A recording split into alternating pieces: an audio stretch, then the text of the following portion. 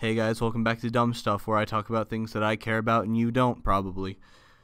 Uh, this week we'll be talking about Sun and Moon. Hi, you thought I was going to talk about Pokemon? No, you're wrong. We're going to talk about Overwatch. Here today, we're talking about Overwatch and how it's so much fun. They had a free weekend this week, and you know, I, I participated to the fullest of my extent, uh, which wasn't much because I had to work. I had to do my job. I had to do my job working. I had to make that make that cash. Uh, but I got to play some Overwatch, and I I played I played uh I played Hanzo. He says this, and uh, he was he was fun. He's he he was Overwatch is fun. You should get Overwatch. It's a first person shooter.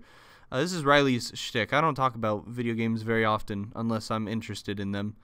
Uh, so so thank you for watching me babble on about Overwatch because I'm really excited to play it again sometime in the near future. And uh, next week after break, I will be talking about Pokemon Sun and Moon. You'll get the you'll get the real real deal review probably because that's what that's what it is. Riley's gonna do one too. He's almost done with the game. I'm not even close. So you're probably not gonna get much from me. Uh, play Overwatch. Wait for Pokemon. More Pokemon. Thank you for joining me this week on Dumb Stuff. I'll see you guys next week.